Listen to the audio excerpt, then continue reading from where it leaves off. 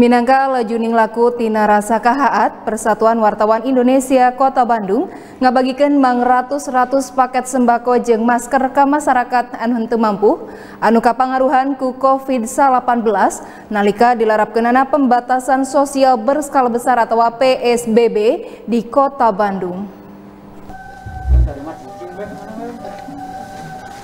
Mang puluh-puluh wartawan nuka bengket Dina Persatuan Wartawan Indonesia atau PWI Kota Bandung ngabagikan mang ratus-ratus paket sembako ke masyarakat anu kapangaruhan ku PSBB COVID-19 atau Corona.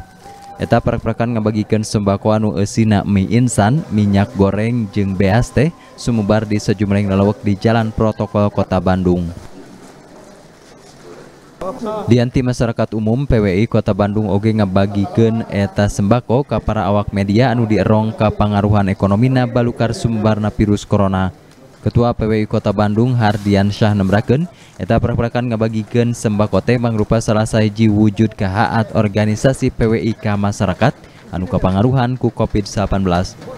Dianti itu pikeun megatkeun sumbarna virus corona, PWI Kota Bandung ngabagikan mang ratus-ratus masker ke masyarakat eh, hari ini menjelang PSBB di Kota Bandung yang akan berlangsung besok tanggal 22 April 2020 dari Kota Bandung bekerja sama dengan SMSI Jabar akan menyebarkan 300 paket sembako dan sekitar 1000 masker buat masyarakat umum Uh, ini upaya kita juga membantu pemerintah dalam memutus mata rantai uh, COVID-19.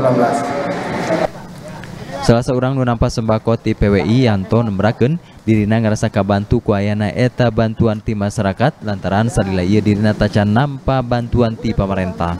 Alhamdulillah itu bisa dibantu-bantu buat sehari-hari Pak. Karena keadaannya sekarang lagi itu sih lagi sepi gitu. Sebelumnya memang sudah dapat bantuan dari pemerintah? Oh, belum, Pak. Belum ada bantuan dari siapa-siapa juga.